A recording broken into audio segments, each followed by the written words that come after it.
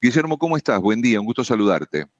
El gusto es mío, amigo, un placer en volver a escucharte. ¿eh? Gracias por tu tiempo. Gracias, eh, Guillermo. ¿Me das dos o tres eh, pareceres de esta economía con esas definiciones tan contundentes, claritas que tenés vos? ¿Dónde estamos parados, Guillermo?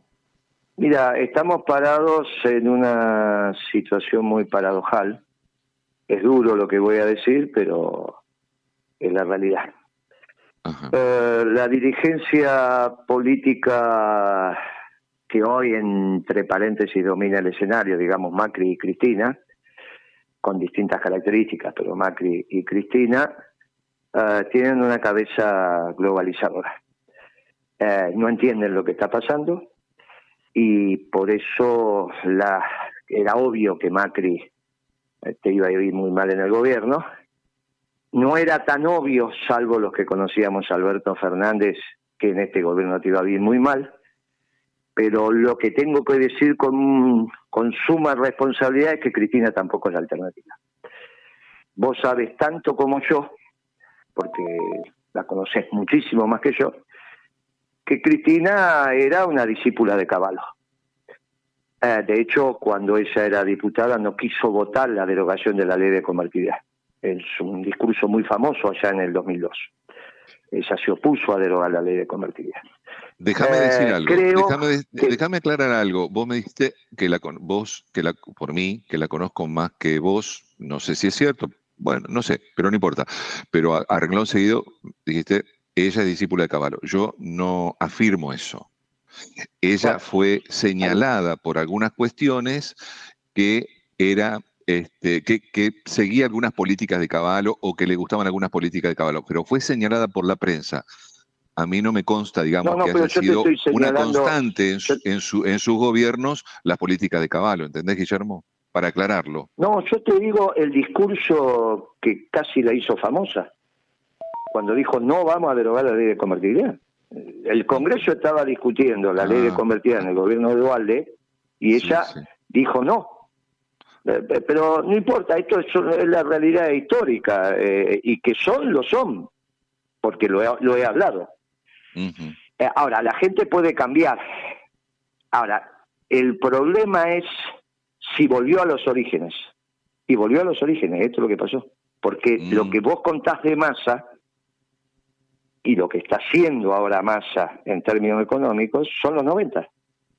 Es exactamente lo mismo no tendrás el uno a uno con otras características. ¿Qué significa esto? Que lo que están ganando es el sistema financiero, hasta que dejan de ganar y se produce el crack.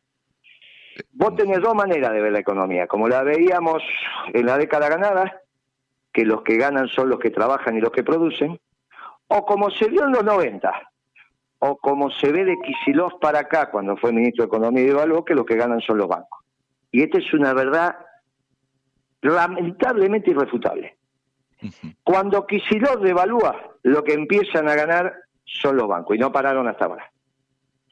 Cuando gobernó el peronismo, conducido por Kirchner, e incluso el primer gobierno de Cristina y, dos años de su segundo mandato, no ganaban los bancos. Nadie hablaba de la tasa de interés.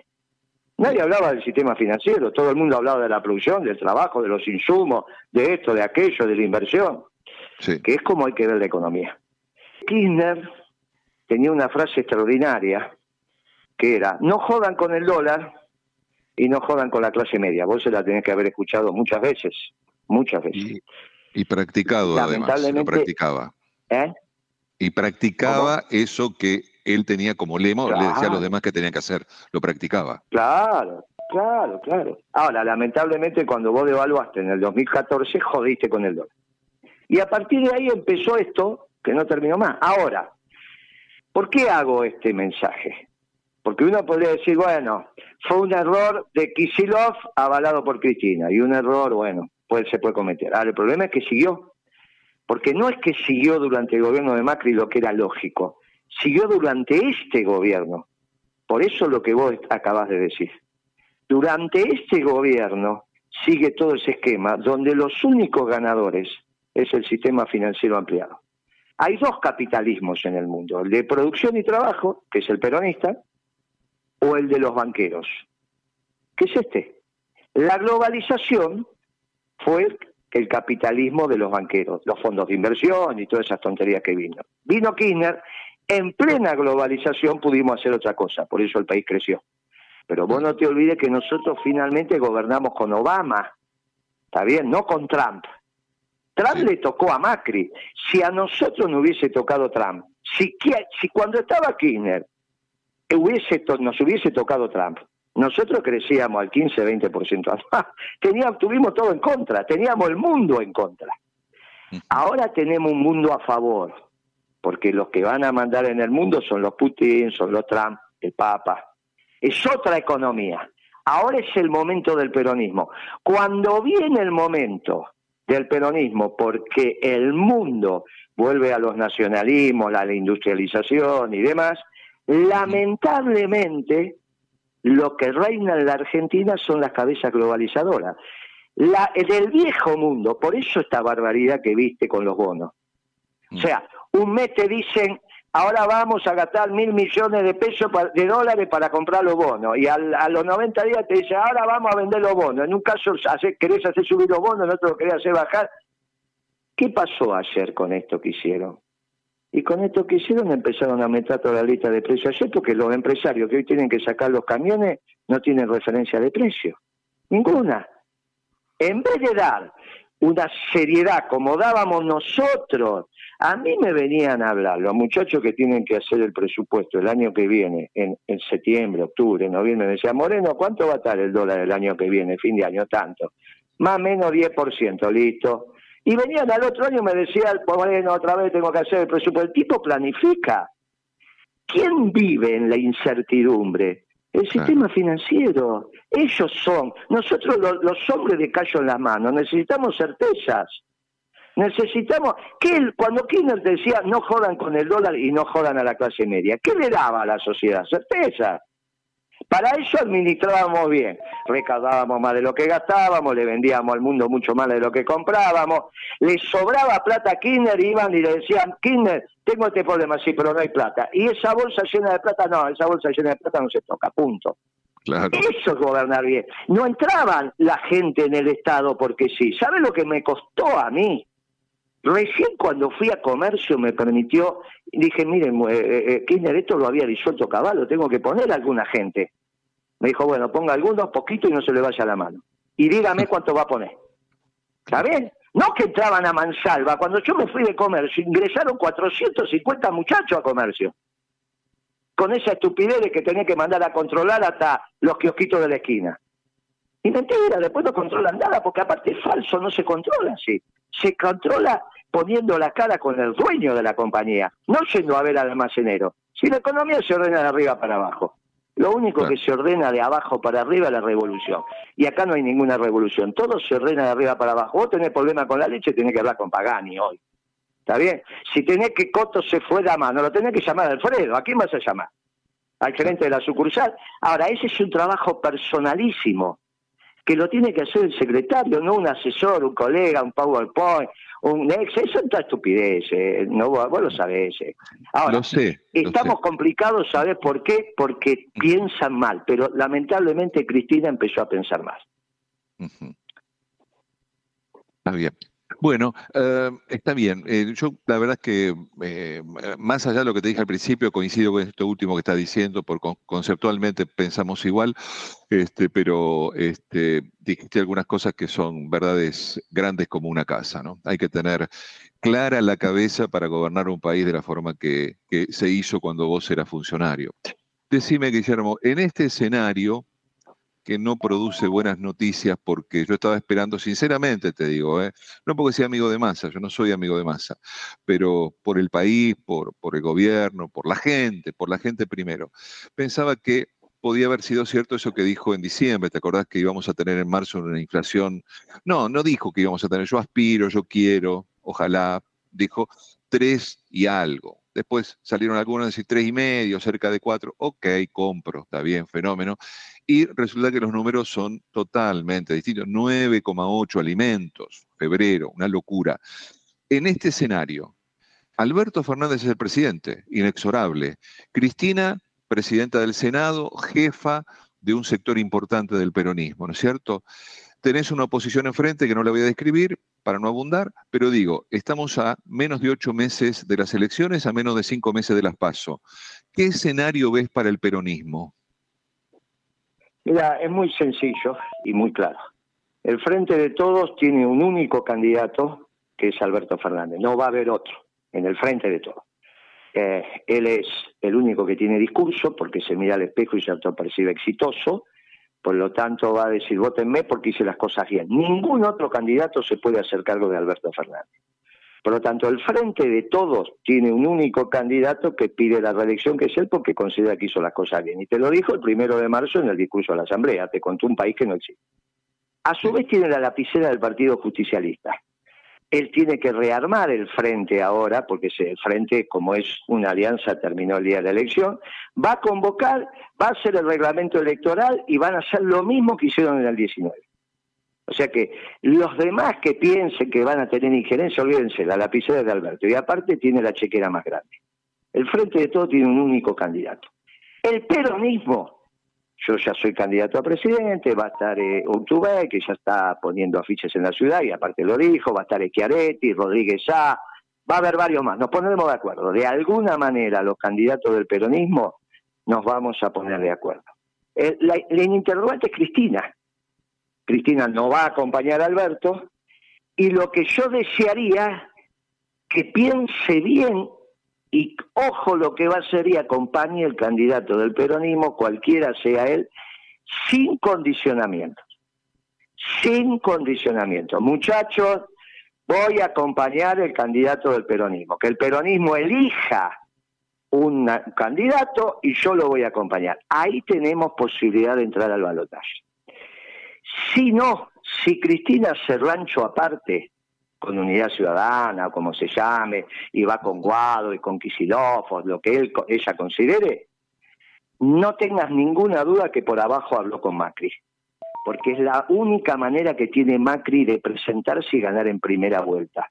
Va a sacar el 40-41% de voto, como ya sacó, y va a tener 10 de distancia con el segundo, quiera sea él. Con lo cual, le, sugiero humildemente a Cristina que no se vuelva a equivocar. Mire, muchacho, junta su fuerza y dice, le vengo pifiando de Quisiló para acá, porque cuando a mí me dijeron que había acertado la estrategia electoral porque ganó, y preguntabas cómo ibas a gobernar, después decían primero ganemos y después vemos, y vos eso lo escuchaste hasta el cansancio. Eso es confundir los medios con los fines. Para el peronismo ganar una elección es un medio, gobernar bien es el fin. Como confundieron medios con fines, ganaron una elección y después hizo un gobierno que es desastroso. Bueno, muy bien. Tiene que acompañar el candidato peronista, sin condicionamiento. Tiene que decir, muchachos y muchachas del peronismo, elijan un candidato que yo lo voy a acompañar. Y el peronismo, como siempre lo hizo, porque lo hizo hasta con Menem, va a poner el manto protector que corresponde sobre todos sus hombres y mujeres, para que nos quedemos claros. Sobre todos sus hombres y mujeres. Más, en esta convocatoria tan amplia, tan importante que tiene que hacer el peronismo, uno de los que tiene que estar sentado en la mesa para elegir el candidato del peronismo también es Pichetto. Tiene que salirse de Cambiemos, tiene que, al parte no, eso no, va a ningún lado, tiene que sentarse en la mesa del peronismo porque es un cuadro extraordinario y lo demostró durante la década ganada, y el, que elijamos los peronistas el candidato del peronismo. Y Cristina acompañar. Si hacemos eso, y como yo creo en los milagros, estoy trabajando para eso, quizás a fin de años tengas un gobierno peronista. Y ahí, con un mundo que por primera vez no es antiperonista, Trump no es antiperonista, Putin no es antiperonista, y el Papa es el líder espiritual de la humanidad, por lo tanto no es anti nada. Por primera vez, con un mundo que no es antiperonista, nos dedicamos a reindustrializar el país y terminamos con todas estas pavadas y estas tonterías de pensar que la economía son los bonos, la tasa de interés, que si el dólar, que... Y volvemos a la economía, como decía Kirchner, de ladrillo sobre ladrillo, viejo, como lo hicimos. Ya lo hicimos. No lo hicimos. No es que te estoy hablando de una... Lo hicimos. Lo hicimos, viejo, estuve ahí, todos estuvimos ahí, los que están escuchando lo vivieron. No es difícil. Ahora, tenemos que pedirle a Cristina que no se equivoque. Lo último que te pregunto, entonces descartás que Cristina vaya a ser candidata a presidenta. Pero claro, ¿cómo va a ser candidata a presidenta? ¿Quién la va a acompañar? Peronismo no la acompaña, Alberto Fernández no la va a acompañar desde ya por lo que te acabo de decir, ¿qué va a ser? ¿Candidata a presidenta para sacar 15, 18 puntos? Va a sacar menos que mi ley. Porque encima van a intentar ir a votar a mi ley para que Cristina quede tercera o cuarta, porque hay que ver si le gana al peronismo. Los peronistas no vamos a acompañar a Cristina, ya lo dijimos, no la vamos a acompañar. Es la hora que ella acompañe al peronismo, que se deje de embromar, con todo respeto se lo digo. El peronismo no va a... Ahora, bueno, si no, los gobernadores, los intendentes, muchachos, si vos sabes lo que pasa por abajo. ¿Qué te va a decir un intendente que tiene... Escúchame, dentro de una semana, Kisilov tiene que empezar a hablar bien de Alberto Fernández, porque le tienen que mandar la plata para los sueldos, como era la relación entre Cristina y Scioli. Si vos la conocés esa. ¿O vos no te acordás cuando Scioli no podía pagar los sueldos? ¿Dónde iba a buscar la plata? Cuando no pagaba los sueldos, ¿dónde iba? ¿Y vos te pensás que la situación de la provincia mejoró? Lo mismo le pasa a Kisilov. Entonces Kisilov se puede hacer el gallito todo lo que quiera y Bernie también hasta que tiene que pagar los sueldos. Y los intendentes lo mismo. Entonces, esas declaraciones que hacen por arriba, es para Alberto. Finalmente con eso va a estar Alberto sacando el 5 o 6% de los votos, que es lo que va a sacar con el frente de todos. ¿Está bien? El peronismo no va a acompañar esto, Alberto Fernández, este gobierno socialdemócrata, ni va a acompañar a Cristina. Va a tener sus candidatos. ¿Qué va a hacer Cristina? Bueno, tiene dos opciones. O acompaña al peronismo, diciendo, muchacho, yo lo voy a acompañar, o hace rancho aparte. Pero si hace rancho aparte, desconfía, ¿eh? Y obviamente no va a ser rancho aparte con esa candidata, ¿no? Está bien, dice, no, ahora salió un periodista a decir el candidato va a ser Massa. ¿Cómo va a ser el candidato Massa con 6.6 de inflación en, en, febrero, 7 en marzo y no sabe lo que va a pasar en abril? Y para bajar la inflación tiene que recesionar el país extraordinariamente. O sea, un país en inflación y un país con recesión brutal nunca podés ser candidato, hermano. ¿Qué, cuál es el incentivo de masa para ir a trabajar mañana al Ministerio de Economía? ¿Cuál es? prácticamente no tiene más incentivo. Y esto, cuidémoslo porque en realidad, ¿cuál es el reemplazo de masa? Vos imaginate que, que, bueno, y, y Cristina se la pasa hablando de economía y piensan que va a ser candidata y no tiene ni un ministro de Economía para poner en el lugar de masa, porque si no lo hubiese puesto. Pero ese es el ABC. Hace seis, siete discursos que lo único que hace es hablar de economía. Y no tiene un equipo, un hombre no tiene, porque si no, no estaría masa. Muchachos, la soledad es total. ¿Qué lo vas a sacar aquí si no? ¿Para qué? ¿Para que vuelva a hacer lo que hizo? ¿Pero de qué estamos hablando? No hay otra alternativa, mi amigo, y termino con esto y gracias por el tiempo, no, hay otra alternativa que el peronismo. Y Cristina tiene que acompañar el peronismo y dejar las condicionalidades. Y el peronismo le va a poner su manto protector. Gracias, mi amigo. Gracias, Guillermo. Te mando un abrazo grande. Chao, Guillermo. Chao, querido. Hasta luego.